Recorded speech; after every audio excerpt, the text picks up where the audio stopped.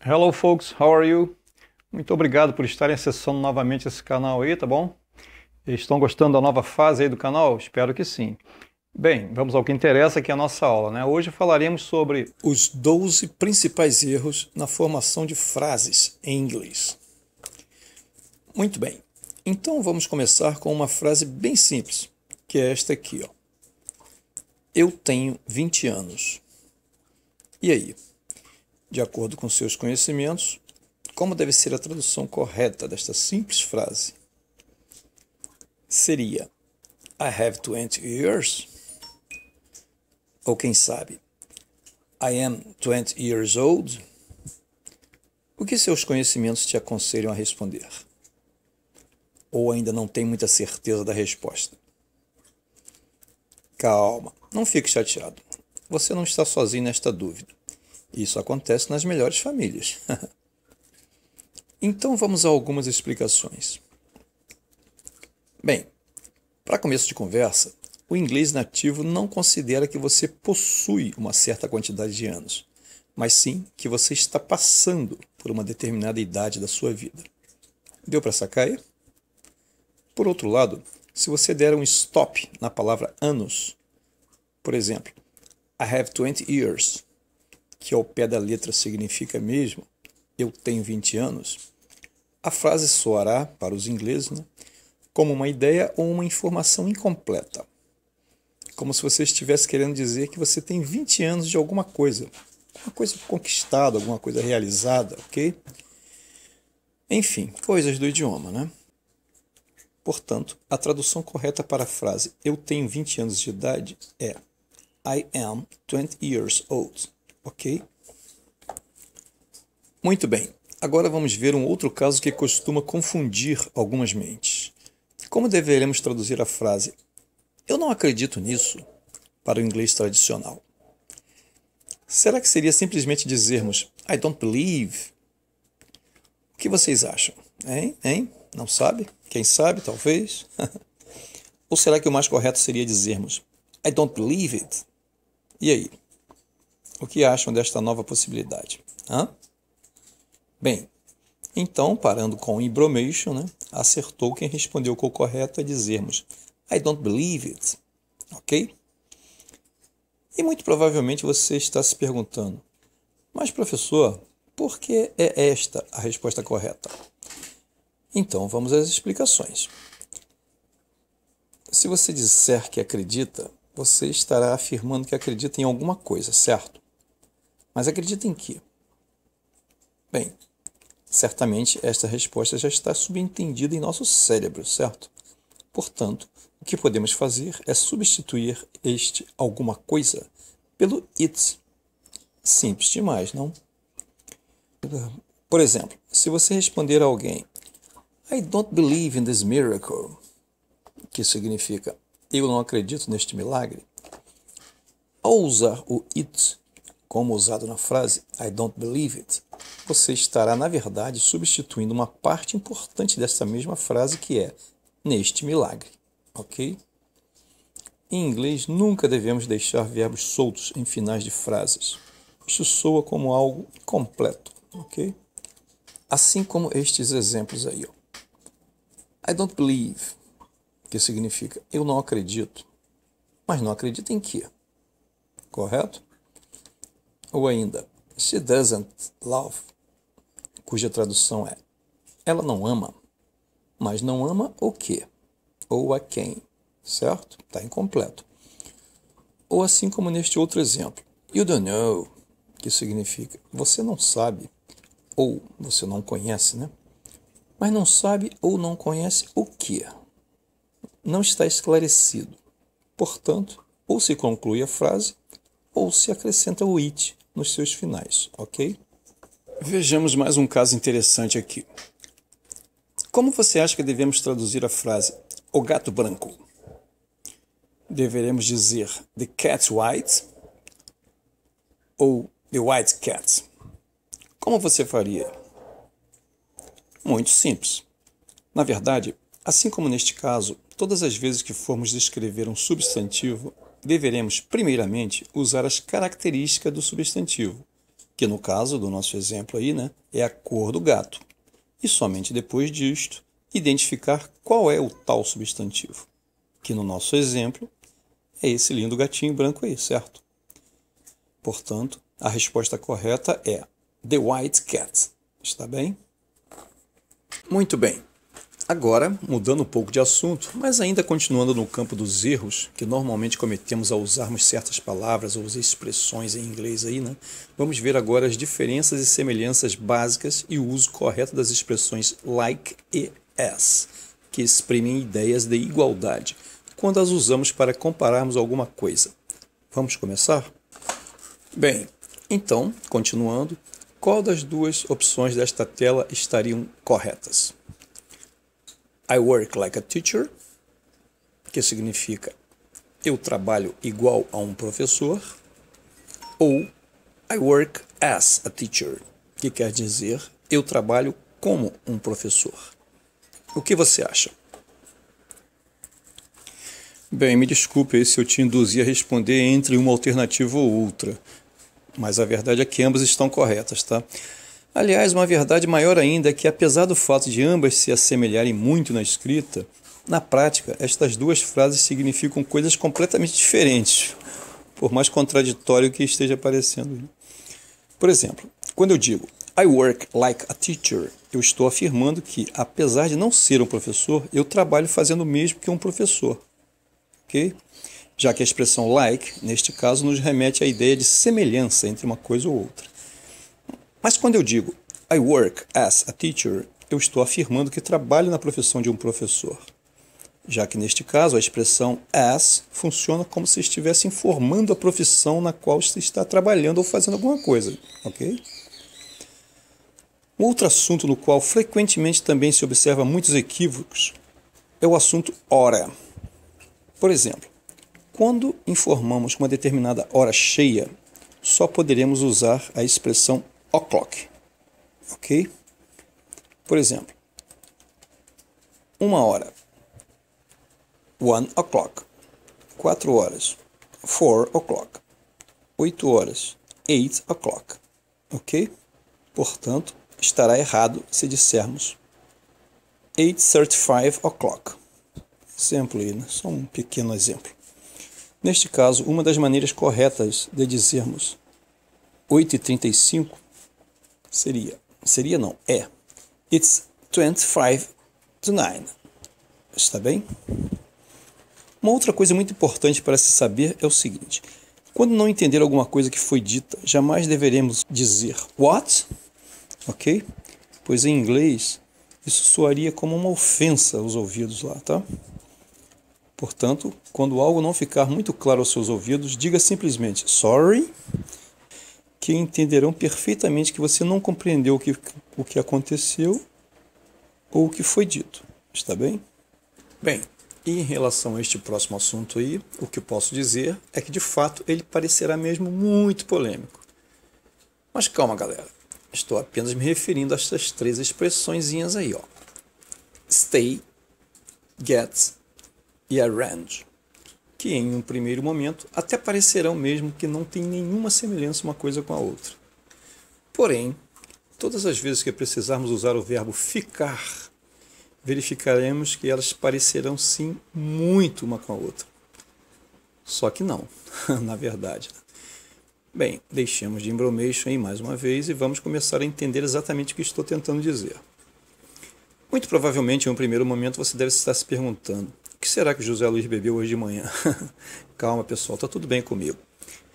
Mas o que tem a ver, ou o que tem em comum estas três expressões quando precisamos usar o verbo ficar? Você deve estar se perguntando. Né? Bem, eu devo confessar que em um primeiro momento parece mesmo que não existe mesmo relação alguma entre uma coisa e outra. Só que não é bem assim. Vamos ver então isso aí.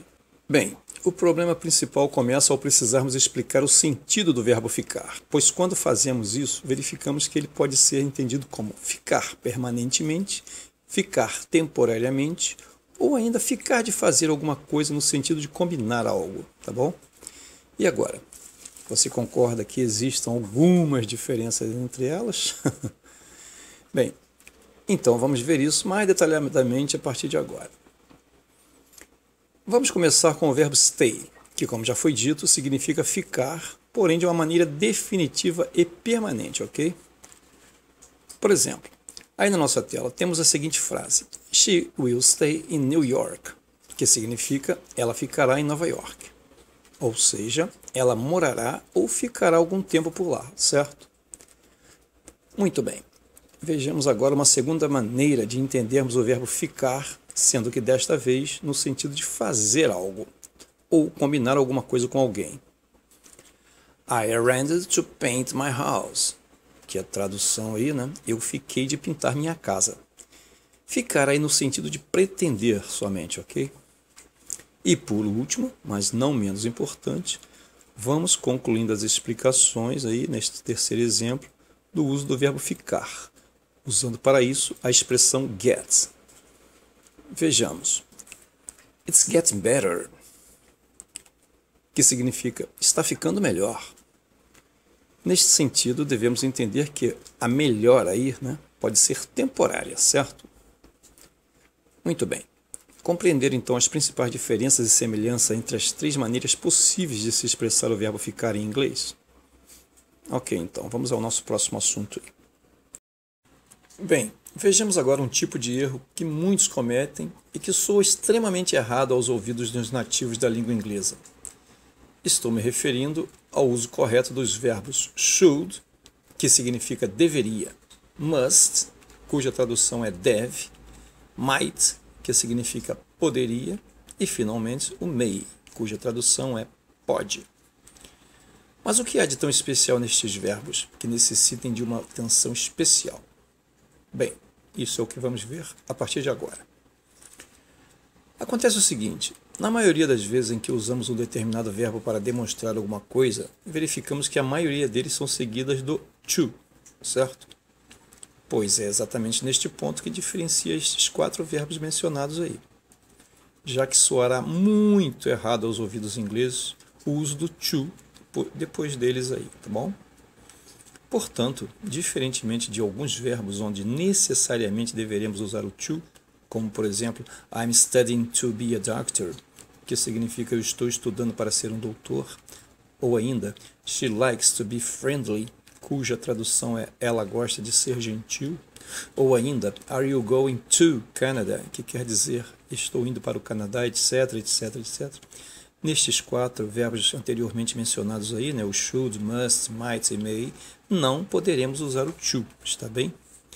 E apenas para ilustrar aí é, né, a ideia de como ficaria, no mínimo estranha a frase dita de maneira errada, veja só alguns exemplos que jamais deveremos seguir.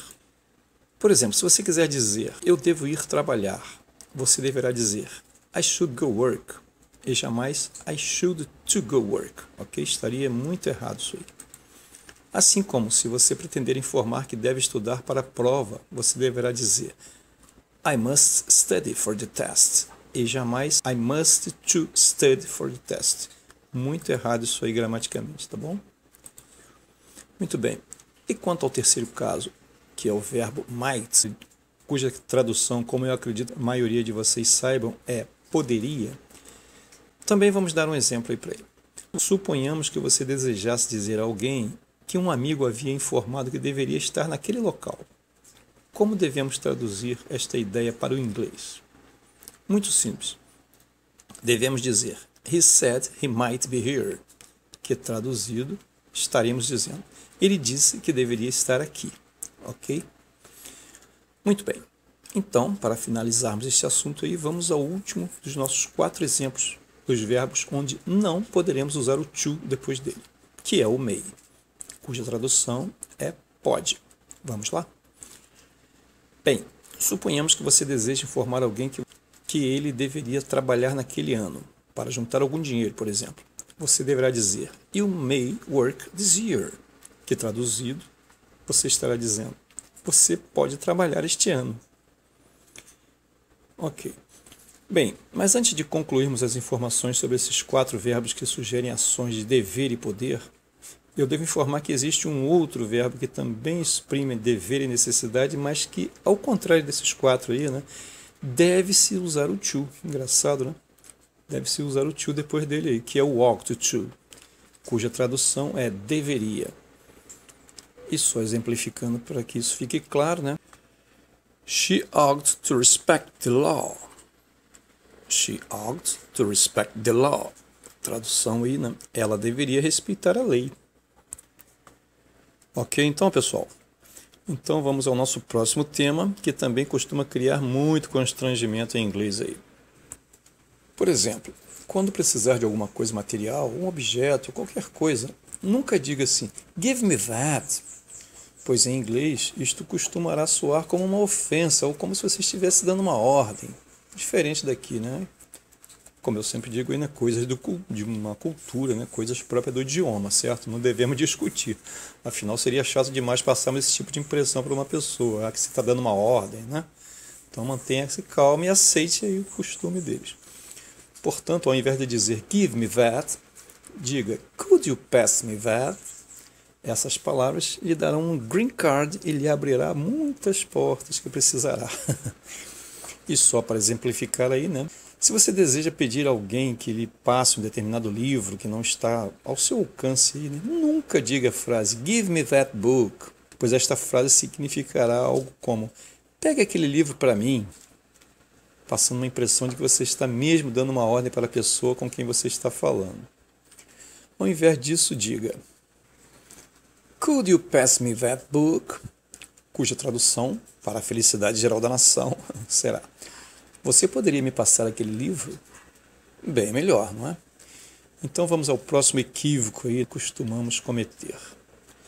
Como por exemplo, vocês sabiam que nem sempre poderemos usar o verbo have para justificar uma determinada posse? Na verdade, deveremos muitas vezes substituir o verbo have pelo verbo to be, por incrível que possa parecer.